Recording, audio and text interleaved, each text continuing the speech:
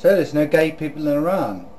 So it seems the religious right now have a place they can be safe from the homosexual agenda. So they should all pack up their bags and move there. But just don't go um, tapping your foot in the airport toilets on the way there.